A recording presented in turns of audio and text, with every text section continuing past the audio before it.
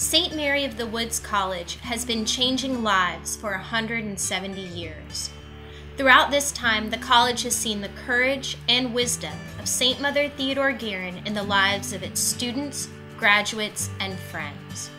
With your generous support, you have helped our esteemed foundress touch another life, who, in turn, will touch many, many more. When I found out I received my scholarship, it gave me an opportunity to fulfill my dreams and have a brighter future. If I had not received the scholarship, I would have had to take out more loans and been in a lot more debt. I wouldn't have been able to go to college at all because I just didn't have the funds.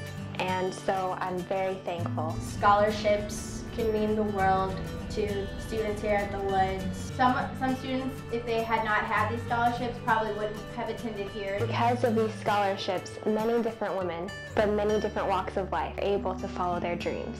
I decided to attend the Woods because my parents and I came to my sister's baccalaureate and commencement, and ever since I stepped foot on this campus, I knew it was the right place for me to be.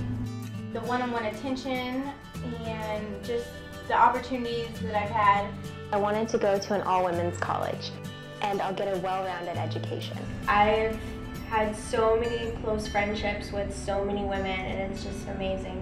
The memories and um, the great times that we had. I just really felt welcomed and at home. I just want to tell my scholarship sponsors a big thank you. You've opened up so many opportunities to me and you've allowed me to go to the college of my choice. This scholarship means the world to me. It's really given me a great opportunity of a lifetime.